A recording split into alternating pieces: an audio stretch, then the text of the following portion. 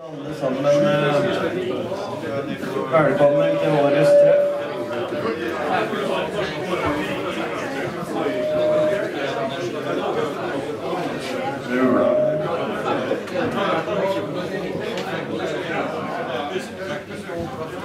Ja, vi skal starte konserten i kveld med to grupper. Den første som skal starte nå, det er en fin gammel årgang.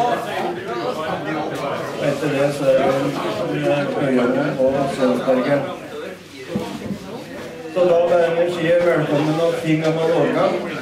Så overtar jeg mikrofonen og sier litt sjøl om hvordan det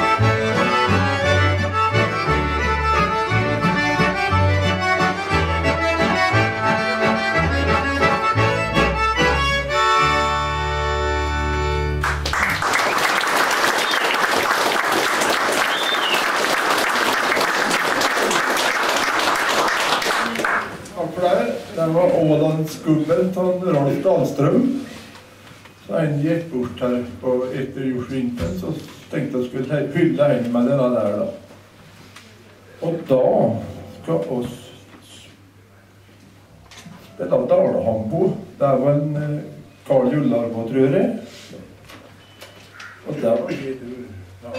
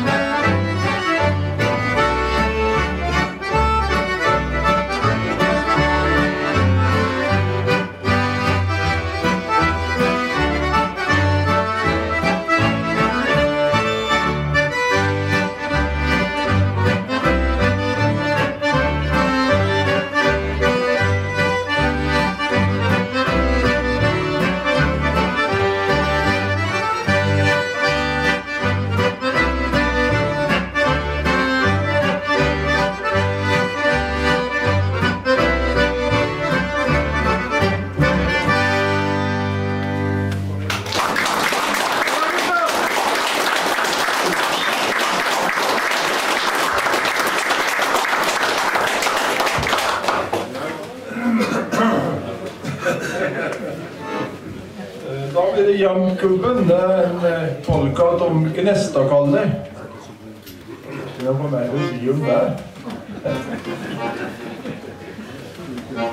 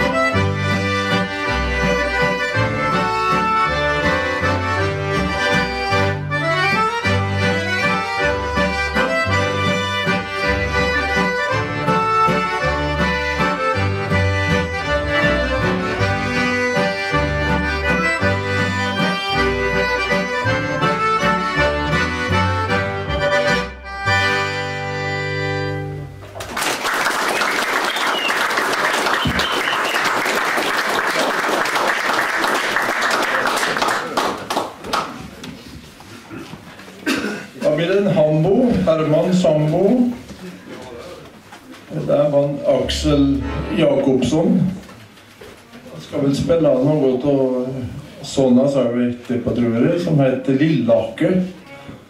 Kanskje hørt om den. Den spilte sammen med Jullarbo, en sånnes Aksel.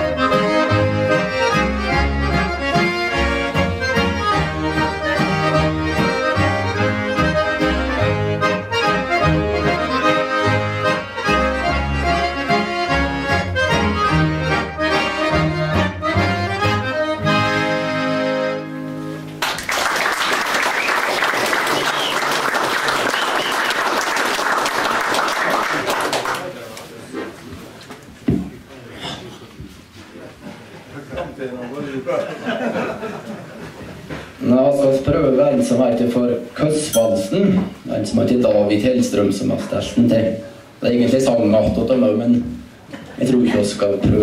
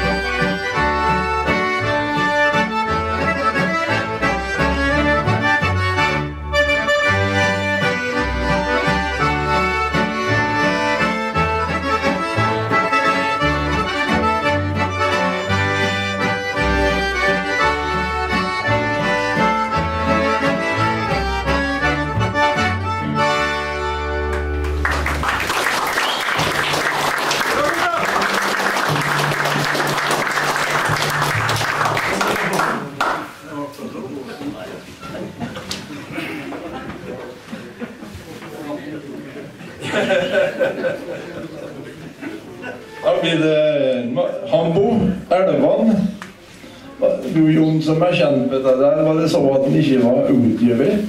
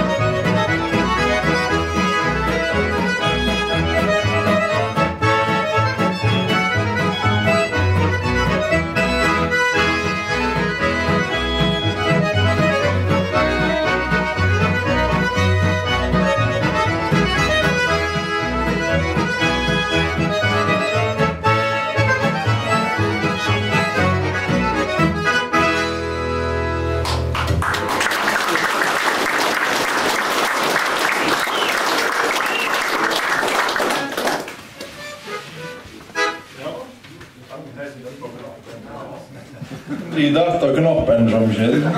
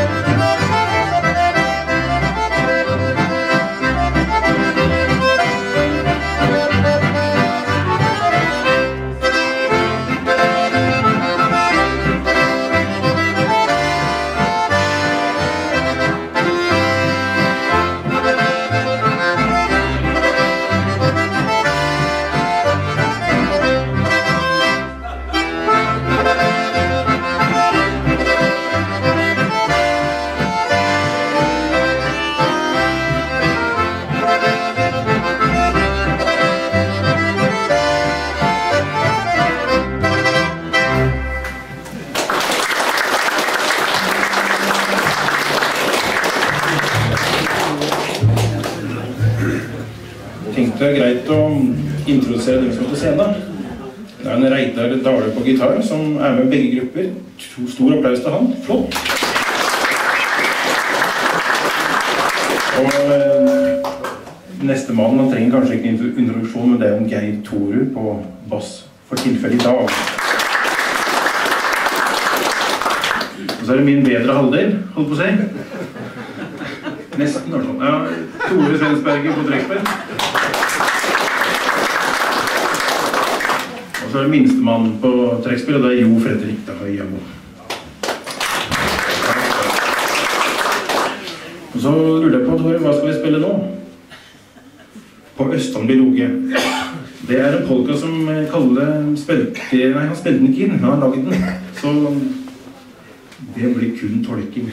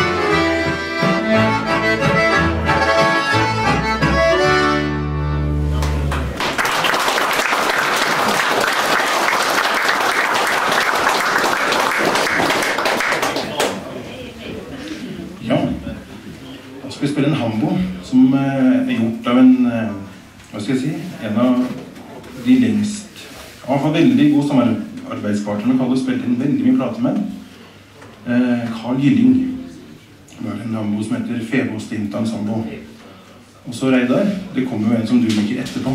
Så bare, bare vent. Er samme kom på han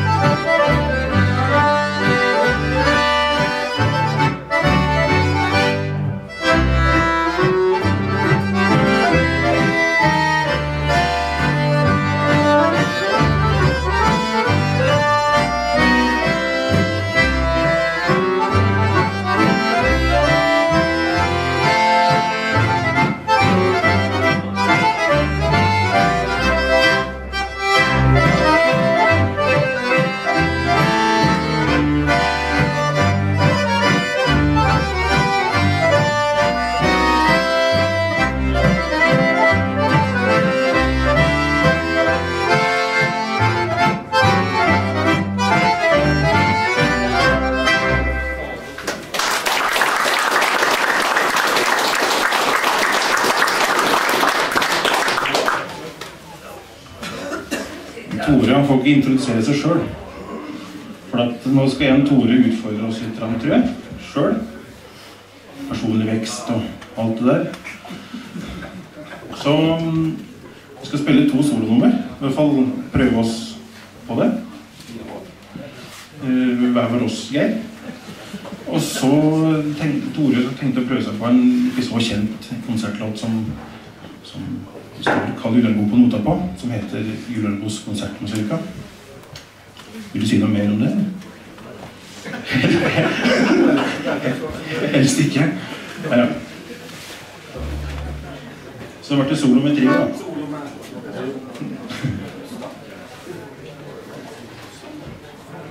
Ja, så det blir en sånn slags ny hybrid-solo-variant, da. Med komp. Uten venner. Yes. Vær så god, Tore Svensberg med komp.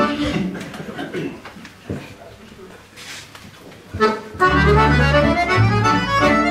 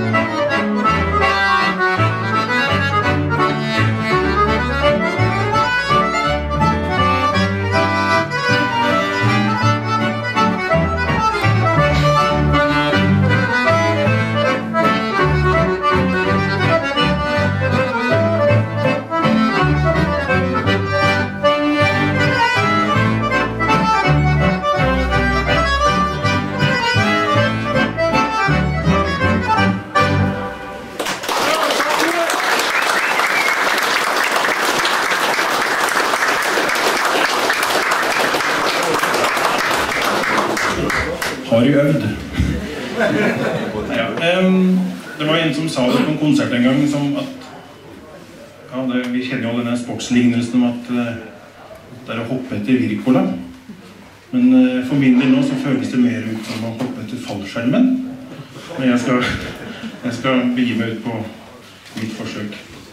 Så eh, jeg tenkte jeg skulle spille en eh, låt. Jeg måtte helt til Rendalen for å finne en passende foxtrot. Så det blir en foxtrot etter Ottar Aker som heter Foxtrot Caprice. Da kan Kompe få en velfortjent pause.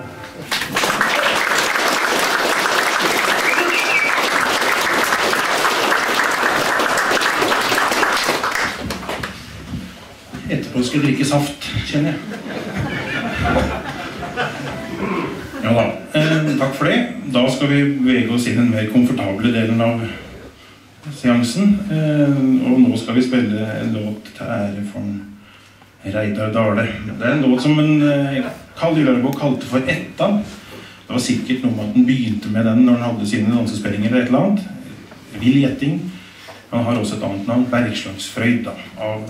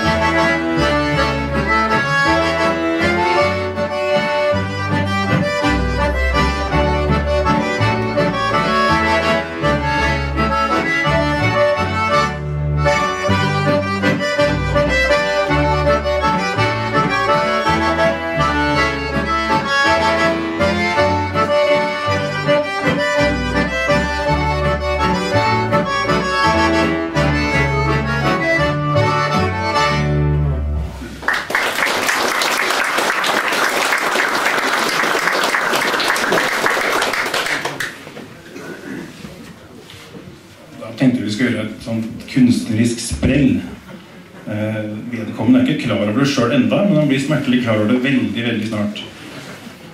Jeg tenkte at jeg skulle spørre en Erik Grøne om å ta med seg spillet og komme på scenen og bli med på en låt. Hvis han er her.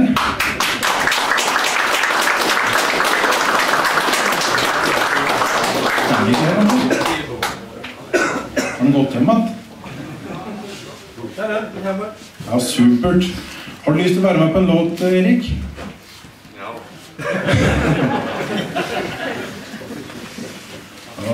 Har du spillet her, eller skal vi ta en låt først? Jeg må ta, ta litt pausemusikk. Ta pausemusikk. ja. Nå tar vi en pauselåt mens Erik Grøna tøft blir med på scenen. Det er kjempebra. En applaus for Erik. Da,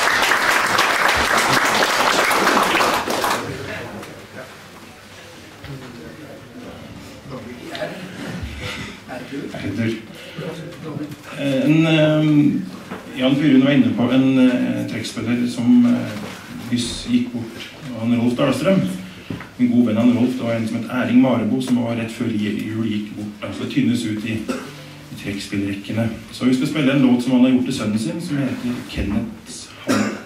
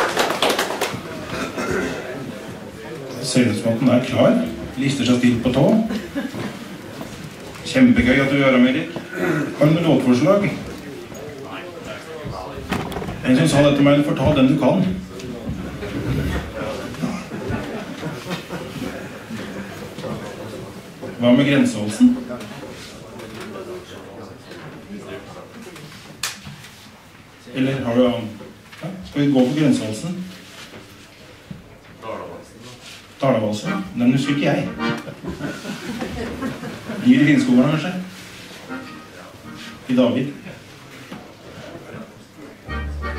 Da blir det en uh, Husker du reprise ganger, holdt på å si? 'Livet i Finnskogene' av ingen ringere enn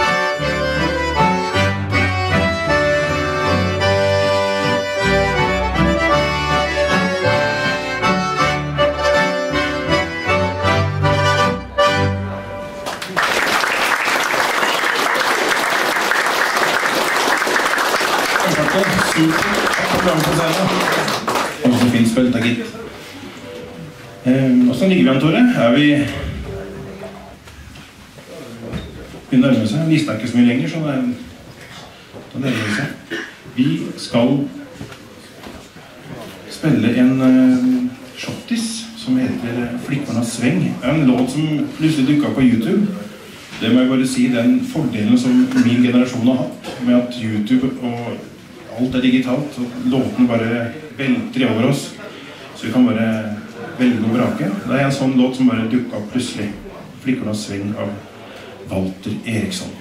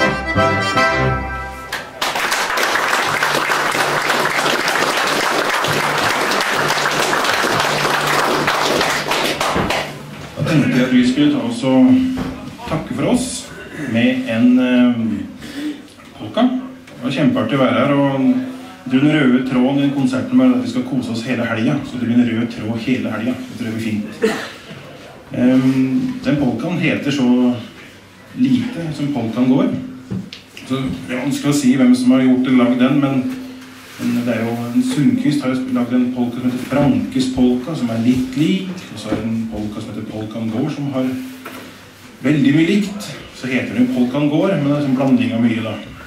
I hvert fall en innspilling som kaller den på 40-tallet sammen med Gillaker, som på en måte vi har blitt inspirert av, da, kan man si. Uten at vi plagierer, for det gjør vi jo ikke. Eh, greit. Men da blir det iallfall Polkan Gård, og takk for oss. Og så god helg og skål, kanskje? Det er lettere sagt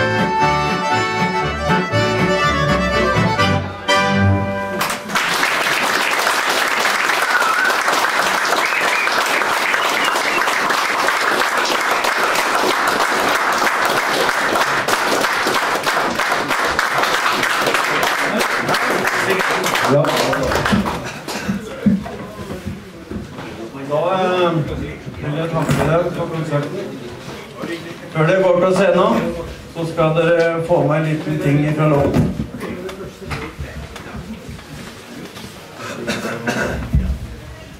Det er eh, ølglass fra Lom bryggeri. Og du får ikke noe å drikke opp, for dette får du ikke sjølve. Det er to glass, så lenge man er tyst, så kan du fylle på. Vær så god.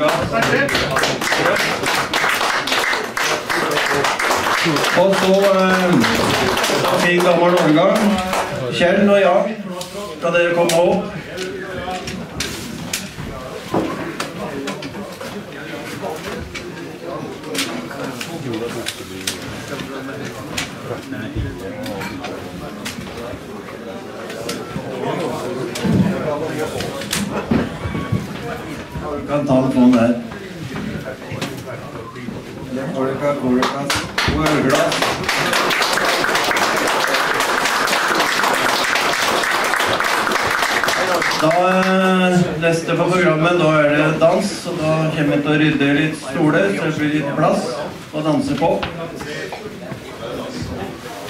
Så Da er det opp og bevegelse litt, så vi får flytte noen stoler.